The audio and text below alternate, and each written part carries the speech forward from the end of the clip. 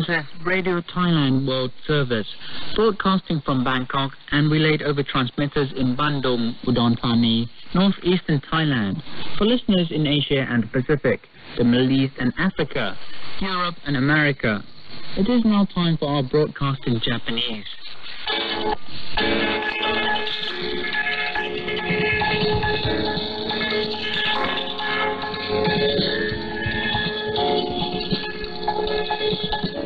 ちらはラジオタイランドの日本語放送です。この放送はフロンタニ県バンドゥンのボイスオブアメリカの送信所を通じてお送りしています。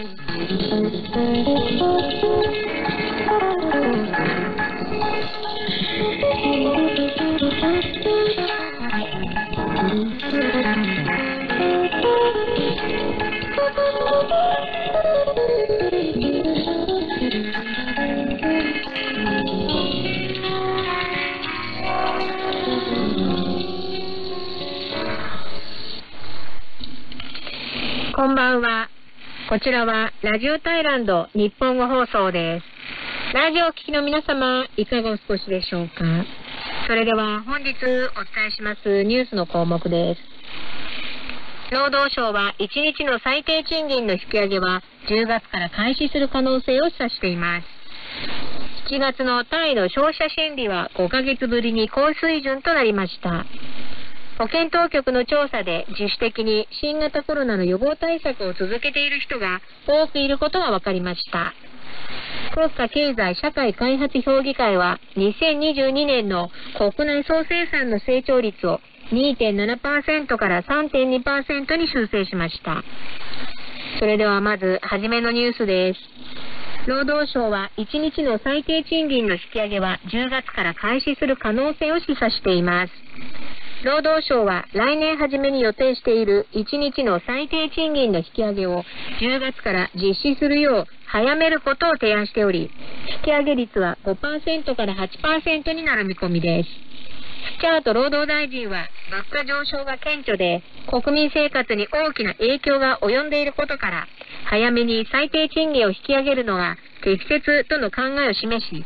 閣議で承認されれば10月1日にも調整される可能性があると示唆しました。スチャート労働大臣は地方の賃金管理委員会はすでにそれぞれの地方の新しい最低賃金を決定していると指摘し、労働当局のチームが間もなくその引き上げ幅を確定するだろうと述べています。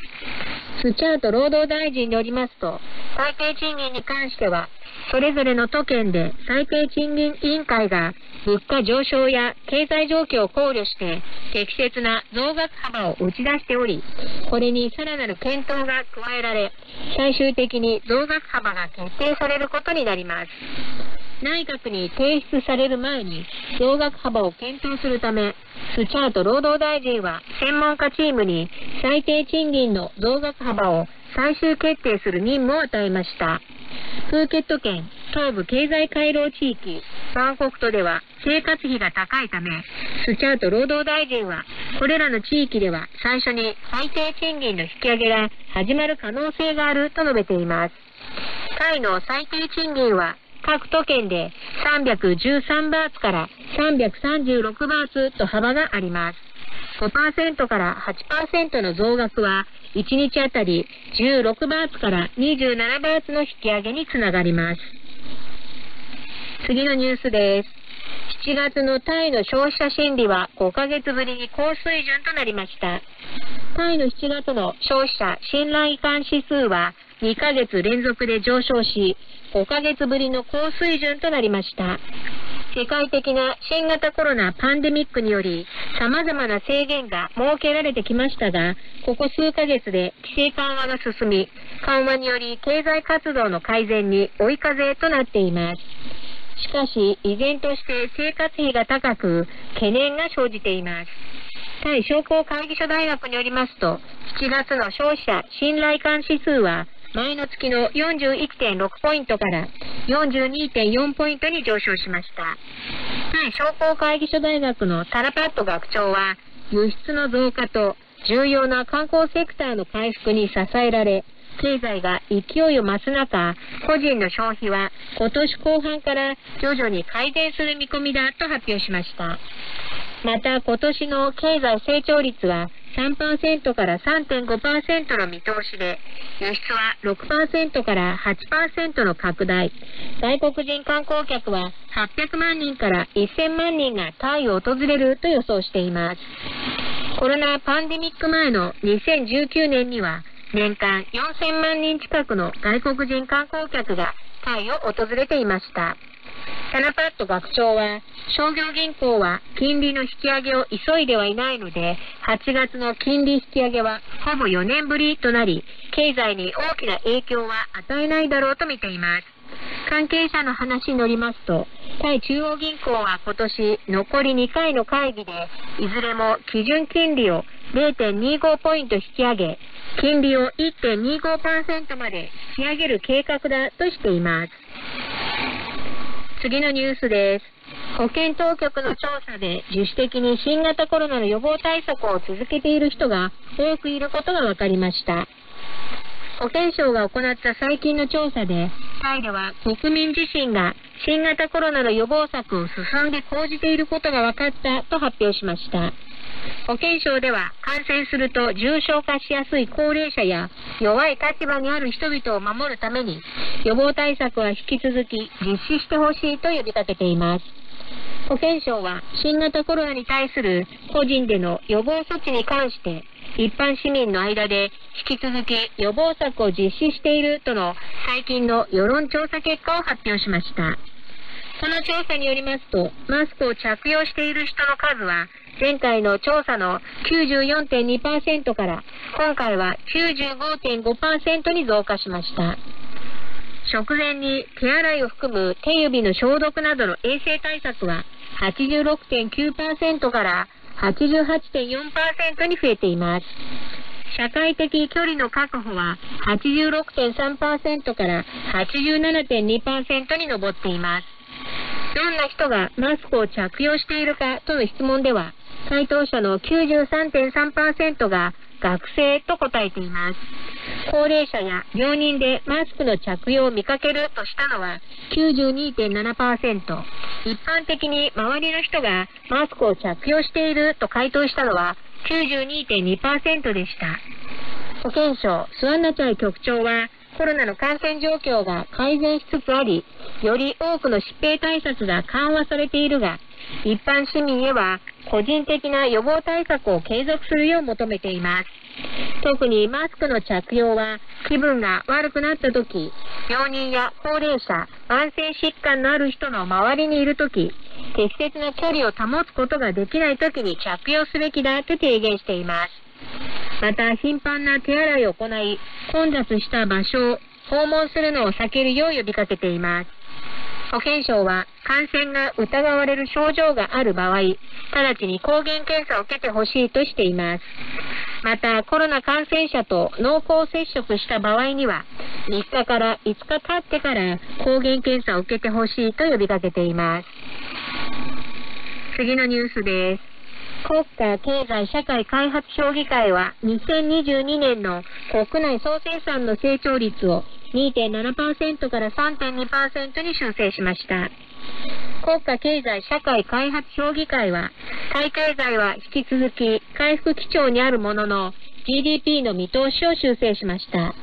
これまでの2.5%から3.5%を2.7%から3.2%に修正しています。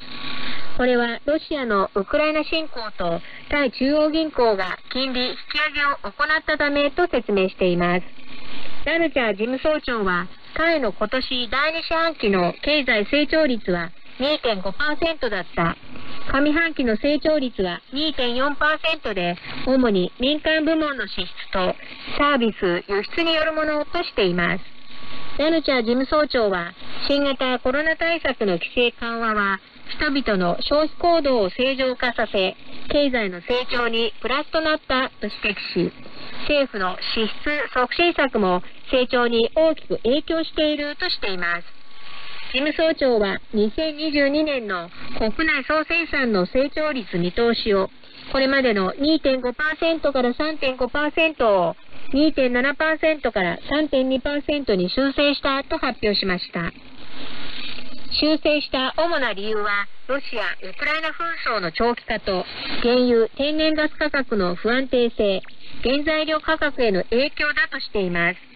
また、アメリカ、台湾、中国間の新たな摩擦は、世界経済に影響を与え、新たな制裁をもたらすかもしれないと懸念を表明しています。しかし、今年の残りの期間、タイ経済は回復する明確な兆候があると指摘し、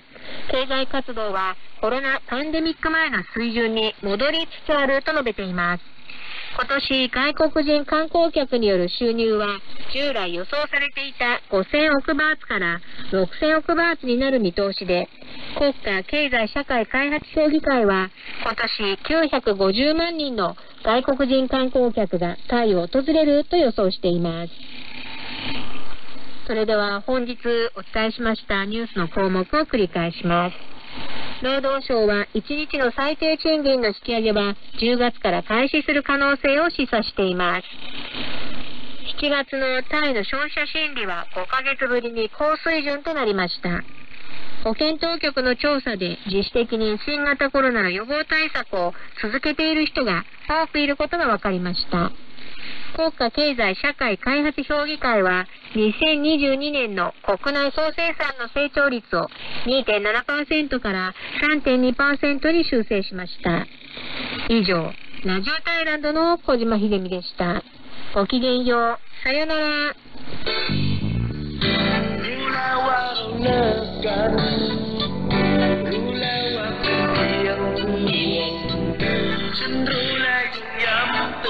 อยู่ในใจ ไม่หวังจะให้เหมือนเดิม ไม่คิดที่จะเริ่มใหม่เพราะรู้ว่ามันสายไปไม่มีทางที่ยังค้างความรู้สึกที่มันลึกจนเกินจะเลือนเพราะฉันมักจะเพ้อใจ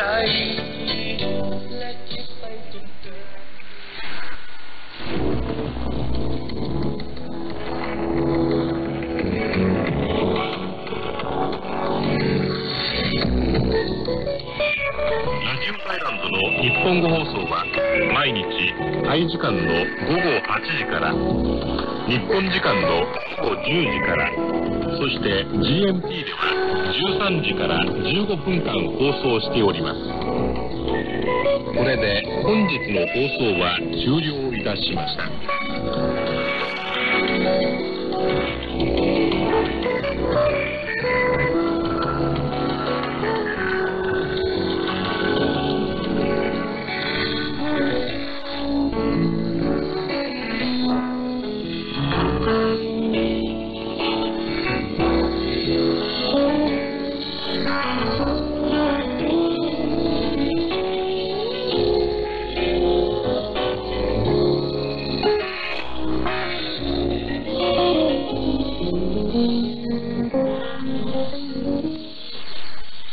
That concludes our broadcast in Japanese.